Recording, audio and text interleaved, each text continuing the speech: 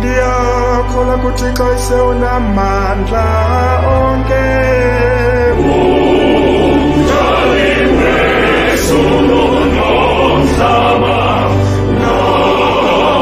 Yesu Kristu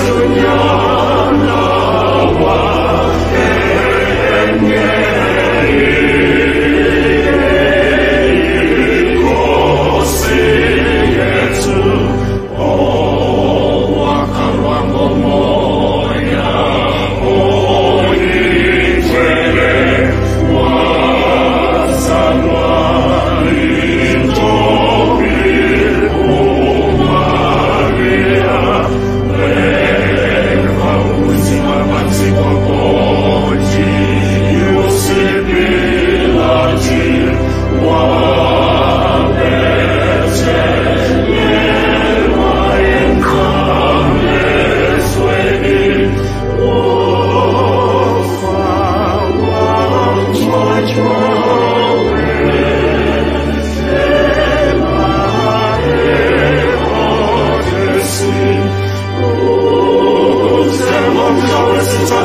we are